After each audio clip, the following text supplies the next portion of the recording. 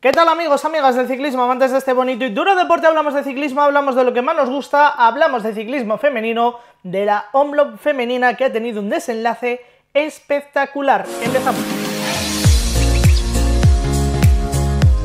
Bueno, vaya final hemos tenido en la Omloop femenina, disputándose hasta el último kilómetro en una llegada espectacular y victoria para una belga, para una corredora que ahora desvelamos el nombre, ahora hablamos de ello, aunque ya habréis leído el título, pero antes de nada decir eh, o repasar un poco cómo ha sido sobre todo esos últimos eh, importantes eh, kilómetros. Ya lo decíamos en la previa, Movistar venían con el mejor equipo quizás, o con, con un gran equipazo, no sé si el mejor, pero sí de los mejores equipos de la carrera, yo creo que el mejor, venía con el mejor equipo. Eh,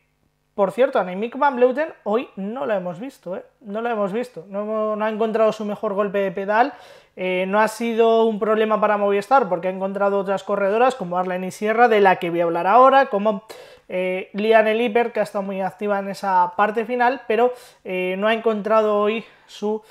golpe de pedal a van Bleuten y ya en esa ascensión al Kappelmur, a falta de, de 13 kilómetros para la línea de meta, no estaba entre las corredoras importantes entre las que se querían jugar esta, esta victoria. Eh, y ahí voy, por ahí empiezo, por ese movimiento de Arlen y Sierra menos de 20 kilómetros para el final, eh, visto que Van Bleuten no estaba en la parte final, eh, visto el equipo que lleva Movistar, yo creo que, que el movimiento ha sido un poco para evitar controlar la carrera, para evitar tener que llevar todo un poco atado y tener que responder a los ataques, tener que ser eh, un equipo defensivo, tener que, que, en el Kappelmur sobre todo se moviesen corredoras y tener que salir ahí. Yo creo que esa ha sido un poco la lectura de carrera que ha hecho Movistar, eh, ya digo, no estaba Van Bleuten, pero creo que independientemente con el equipo que tenía Movistar, creo que independientemente de si Van Bleuten hoy hubiese sido la corredora que, hubiese disputado la victoria, eh, lo ha hecho Lippert, eh, si hubiese sido cualquier otra de las corredoras en Manosgar, cualquier otra de las corredoras de, Movistar, creo que la lectura y el movimiento de carrera hubiera sido el mismo.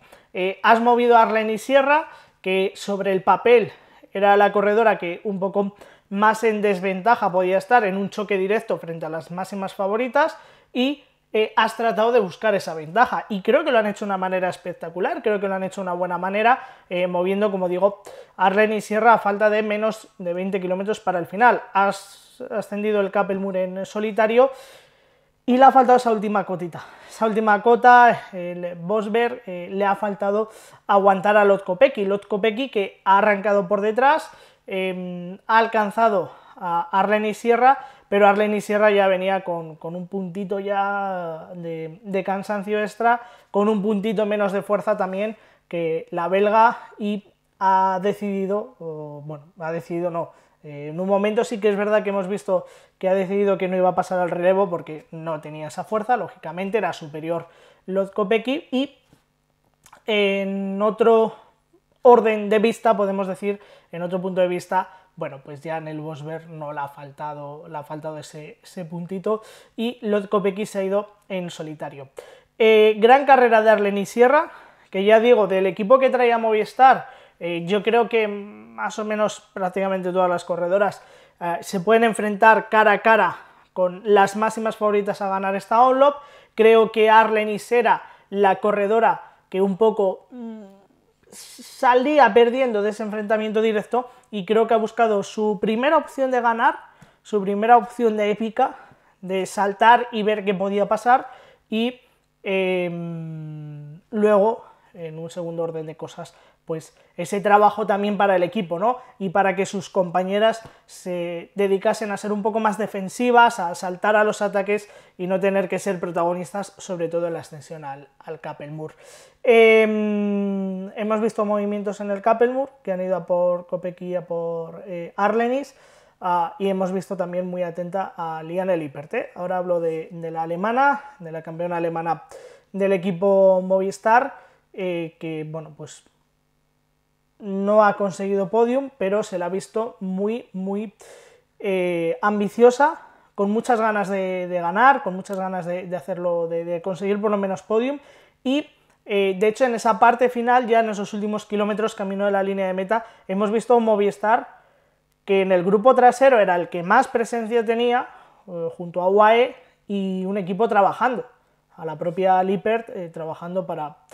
para cazar a Lozcopeki, lo que pasa es que ha sido increíble. O sea, los últimos kilómetros de Lozcopeki, ahora lo hablamos, han sido increíbles. Es que no ha perdido prácticamente mm, mucho tiempo, o prácticamente nada de tiempo, frente a un pelotón o a un grupo perseguidor donde había dos Movistar tirando principalmente, donde estaba también UAE, donde hemos visto movimientos eh, por parte de FDY, eh, donde hemos visto movimientos también por parte de Canyon, un grupo perseguidor que para nada se ha entretenido. Para nada se ha entretenido en ese trabajo, pero Lotkopecky ha resistido de una manera espectacular, de una manera increíble, increíble. Eh, Lotkopecky que arranca la campeona belga, que arranca este año 2023 de la mejor forma posible, su segunda temporada en SD Wars, arranca ganando otra corredora que empieza la temporada ganando. Venimos de Pogachar, de Vingegaard, de Dylan Van Barle, pues otra corredora que empieza su temporada ganando, eh, suma su victoria número 21 en su carrera deportiva, en sus 27 eh, años de... Mm, a sus 27 años, no en sus 27 años de carrera deportiva, me imagino que con un añito no andaba en bici, me imagino.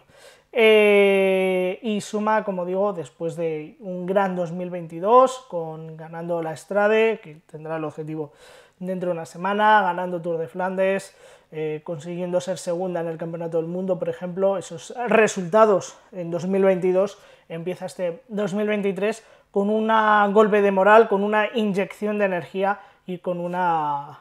con, una forma espectacular. Em, voy a hablar de la segunda, no sabía dónde irme, venga, voy a hablar de la segunda. No sabía si terminar el comentario con Movistar, pero lo voy a hacer luego con el Manosgar, casi o cuarta, y ya termino el comentario de Movistar y darle ni sierra, porque quiero hablar de las dos. Pero voy a la segunda, SD Wars, que ha hecho 1-2.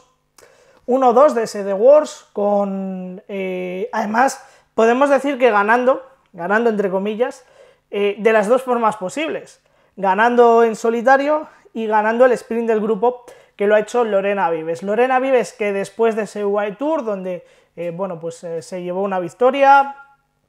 donde tuvo que, digamos, claudicar dos veces ante Charlotte Cool, eh, esta segunda posición, lógicamente no es una victoria, pero creo que para Lorena Vives es como si lo fuera. creo que es como si lo fuera porque primero ha ganado una compañera, eh, ese de Wars que por cierto ha metido en el top 10 a, tres corredoras. Eh, no, no, ha sido en el top 10 finalmente, pero en esa parte final ha metido a otra tercera corredora, no, no tengo el nombre aquí, no ha sido top 10, pero bueno, ha metido eh, en, esa mm, casi casi top 10 a tres corredoras. Bueno, Lorena Vives, que ya digo, creo que es una victoria, primero porque ha ganado el equipo, porque ha ganado una compañera, pero a nivel personal, después de esa victoria en World Tour, pero después de esos ah, dos etapas en las que fue superada por Charlotte Cool, eh, ganar hoy un sprint como este, en una carrera como esta, eh, creo que a pesar de no conseguir la victoria, creo que es un gran resultado para ella y un resultado para estar muy, muy, muy, muy contenta por parte de Lorena Vives que ya dijo en el inicio de temporada, o antes de empezar la temporada, que no le importaba conseguir menos victorias este año, pero sí quería conseguir victorias de más calidad. Y esto es un paso adelante para ah, conseguir victorias. Me voy a grandes clásicas, a grandes monumentos como puede ser Estrade eh, dentro de una semana o como puede ser eh, Tour de Flandes, etcétera. Así que em, Lorena Vives creo, creo que hoy debe llegar al bus muy, muy contenta. ¿Por qué han ganado? Porque han hecho 1-2 y porque ha ganado un sprint que, era muy difícil de ganar. ¿Da la plata? Sí, da la segunda posición, pero era muy difícil de ganar. Y tercera, completando el eh, podium, la veterana, veteranísima, eh, campeonísima italiana, 35 años, Marta Bastianelli, que ha completado, como digo, ese, ese podium, que se retirará a final de temporada y que también empieza la temporada, bueno, pues eh, su inicio de temporada, en este caso ya había corrido y había estado en, el UAE Tour, pero empieza la temporada con un tercer puesto, después de un UAE Tour discreto, eh, además corriendo en casa, en casa de su equipo, eh, no, en, Italia, lógicamente. Eh, corriendo en casa creo que fue un tour un poquito más discreto, sobre todo en esos finales al sprint, y el tercer puesto, el tercer lugar hoy de, Marta Bastianelli, también es para estar muy contenta. Además, eh, como digo, lo mismo que he dicho Lorena Vives, consiguiendo imponerse en ese sprint del grupo perseguidor, era un sprint con muchos quilates, y Marta Bastianelli ha sido segunda, tercera en la carrera, segunda en ese sprint. Eh, he dicho que quería terminar en mi comentario de Movistar con Marta Bastianelli, Marta Bastianelli, perdón, con Elman Osgar, que ha sido cuarta clasificada, que ha sido la corredora finalmente de Movistar después de ese trabajo de, de Lippert que se ha metido en la parte final, es una corredora que ya sabe lo que es estar adelante en este tipo de clásicas, que eh, ya el año pasado ganó Lesamin, que ha sumado, por ejemplo, segunda en Oblop ya en 2021. Eh, bueno, es una corredora que, sabe ¿no? lo que es estar ahí. Eh, cuarta clasificada, después de su segundo puesto en el inicio de temporada en, Costa de Almería. Eh, ya he hablado un poco todo lo que tienen que hablar de Movistar. creo que, bueno, pues la guinda al pastel era conseguir ese podium. Creo que se ha quedado muy cerquita. Eh, que cuando tienes a una corredora por delante como los Kopecky que te rompe la carrera y por detrás es imposible acercarte, pues, pues es imposible, han tenido que gastar muchas energías en, una caza que finalmente no ha podido ser, y en el sprint sí que es verdad que eh, las corredoras que había en ese grupo, pues había corredoras mucho más rápidas o más rápidas que, bueno, Nosgar, etcétera, y ya, bueno, pues no es lo mismo esta clásica, una clásica como esta, jugártela un sprint. Eh, creo que el papel de Movistar ha sido bueno, y creo, he dicho que me quedaba una lectura de Arlen y Sierra, eh, finalmente Arlen y Sierra no, la, no ha terminado eh, ni en top 10 siquiera, creo que no ha entrado ni en ese grupo perseguidor, no, no, sé si ha llegado a entrar al final, pero el momento en el que estamos entregando este vídeo lo hacemos con tanta rapidez que solamente tenemos el top 10, pero destacar el buen hacer después del año pasado, eh, ganando Andalucía, eh, siendo en el Mundial, quedándose muy cerquita de ganar. Creo que es otro paso más para Arlene Sierra, para una corredora que viene dando pasos, para una corredora que viene siendo importante, que el año pasado le sirvió de mucho crecimiento y creo que el paso hoy, a pesar de no haber mm, podido llegar hasta el final, creo que el paso hoy de Arlen y Sierra es muy, muy importante. Y para coger también mucha moral y para seguir trabajando. creo que, que, está en muy buen camino. Y creo que ahí hay un potencial que, hay, que tiene que terminar de pulirlo. Y en cuanto termine de pulir detallitos, creo que Arlen y Sierra la vamos a tener entre las grandes. Y y yéndose hoy con Lozco Pequi hasta, hasta línea de meta. Confío mucho, es una de las corredoras en las que, en las que confío mucho. Eh, destacar poquitas cosas más, que por ejemplo el Canyon Ram ha metido a Soraya Paladín como novena clasificada, ha sido su mejor corredora, y que Trek Segafredo, que también es uno de los mejores equipos de, de la carrera, era uno de los mejores equipos de la carrera, su mejor corredora ha sido décima, ha sido Elisa Longo Borgini. Eh, no hemos visto a Bálsamo en esa parte final, eh, bueno, ha sido su, mejor corredora. Así que nada, poquito más que destacar de esta carrera, que ha sido espectacular, sobre todo en esa parte final, y que la siguiente cita seguirá siendo en Bélgica este martes con Lesamil, aunque este martes tenemos otra cita con el ciclismo femenino, donde vamos a estar allí presentes, que es la presentación del recorrido de la Vuelta Femenina. Se han escuchado cosas, se han visto cosas, pero la presentación oficial